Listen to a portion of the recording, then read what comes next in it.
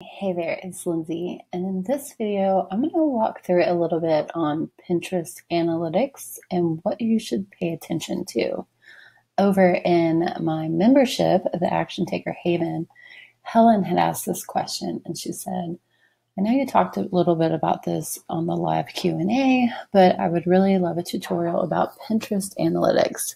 Those numbers that are on the homepage as well as those within the actual analytics Trying to make sense of it when monthly unique viewers on my account seems huge 680,000, and yet I only have 180 followers. I need to understand what I'm doing that's right, as well as what I'm doing, but should, you know, not doing, but should be doing things. Okay, so you can go into analytics. the thing about analytics that you can dive into them and kind of go down a rabbit hole.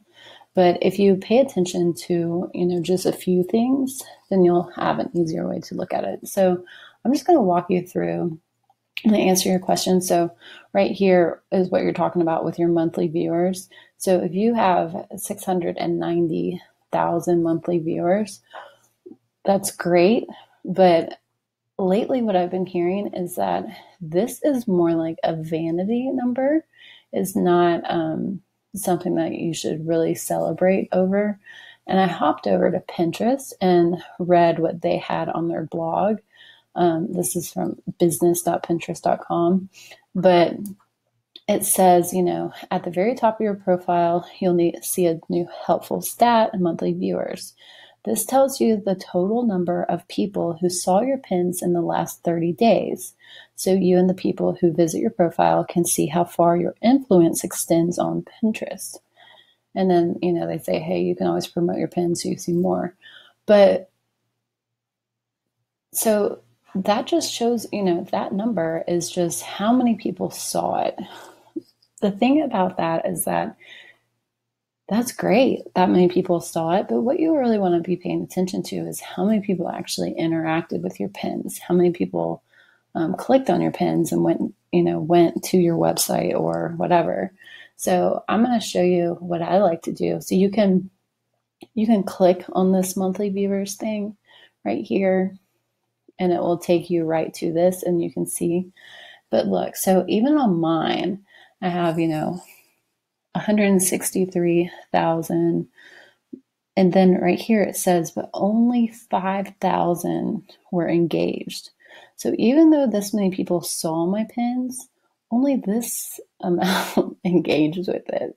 So uh, that's still not bad. And it's up from what it was last month. But that's just something to kind of pay attention to. So I'm going to hit that, or I'm going to just go, go right here to analytics and go to overview and just kind of show you something too. So, you know, this number right here, so now it says 172,000, which is like 10,000 more than what that other thing said. But over here, I can see, okay, but my daily impressions and, you know, that, um, like I said, there's so many things that you can pay attention to. But what I like to do is, um, I like to click on this activity from my website so that I can see how many people were actually clicking over to my website. So I can see that this content calendar cheat sheet is a pin that's doing really well. Um, you know, people are clicking on it, people are saving it, uh, and this is how many impressions it has on it. Um, you know, these other ones aren't bad at all either. But if you see this one right here, it has a lot of impressions, but nobody's clicked on it and nobody has saved it. So that's just something. Oh, you know what? So what I did with the, what I've been doing lately is making two separate pins for my articles, um, or my blog, my articles, my blog posts. So right here, so looking at it, I'm just going to click on it so you can see. So this pin, so see it has like this background with the keyboard and the flower. You can see right here, okay, um, oh, well, it has had 47 saves and 22 clicks. Um, let's click that other one. That other one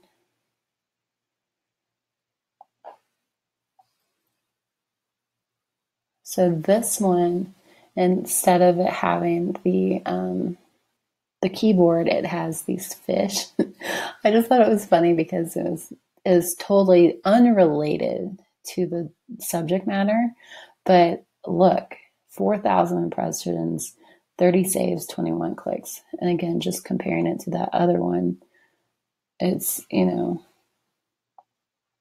this one obviously is doing much better because it has 8,000 impressions. But when it comes to saves and clicks, they're kind of close.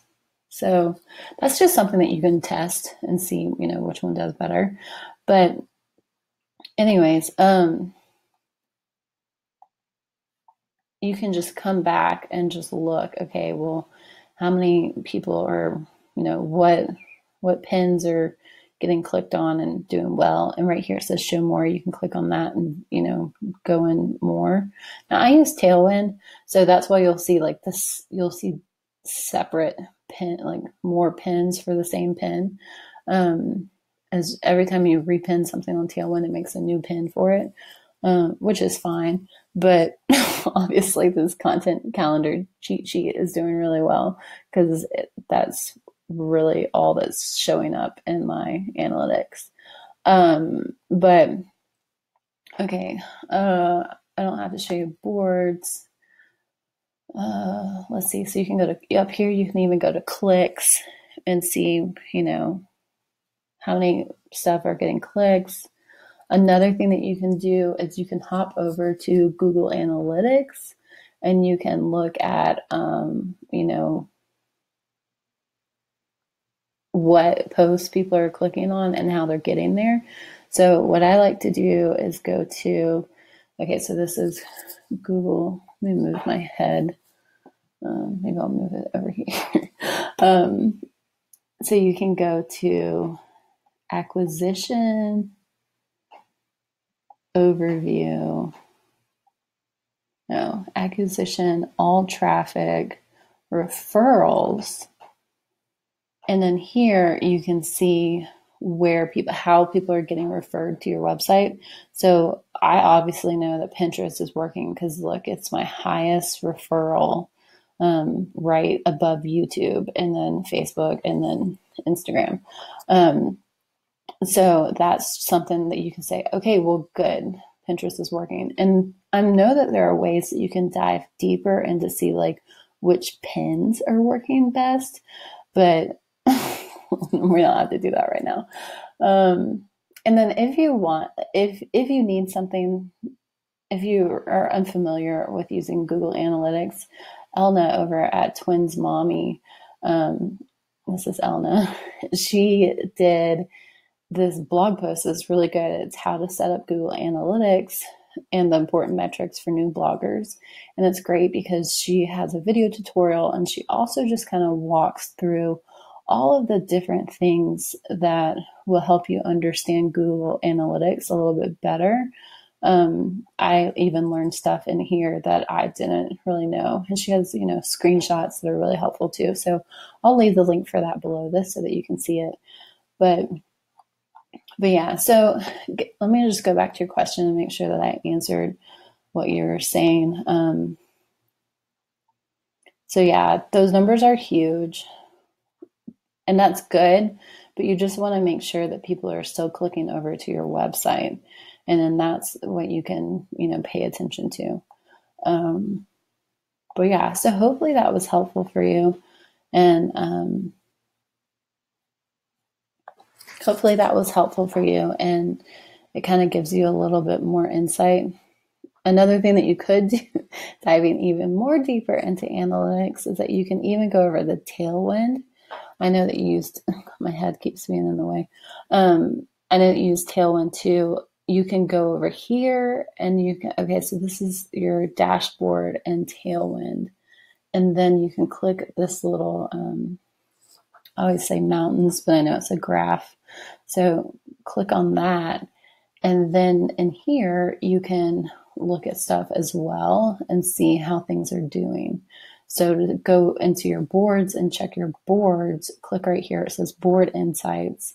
Um, hide your secret boards because you don't want to see any um, recommendations on that. And then in here, you can go to, okay, which one, which ones are getting the best engagement and click there. Um, so of course my, this board that I'm on for LipSense is doing really good as far as repins. Um, and look, another one for LipSense is doing really well as well. Um, but I, I can see that my board that has Best of Hazel Haven is doing really well. So that's just kind of something to play, pay attention to too, because then you can know, okay, well, these boards are doing really well and they're driving traffic to my site too. And you can check that as well.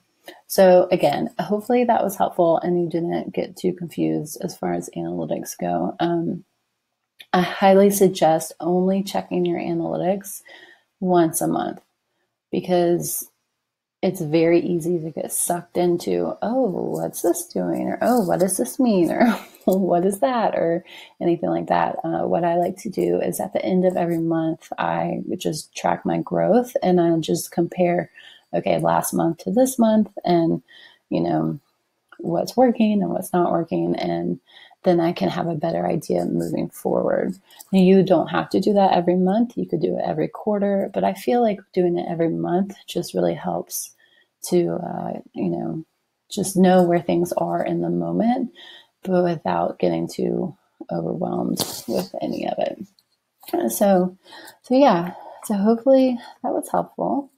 And that's all I have for now. Um, and if anyone else is watching this and you're wondering, Whoa, how did Helen get a personalized um, video? This is within my Action Taker Haven membership.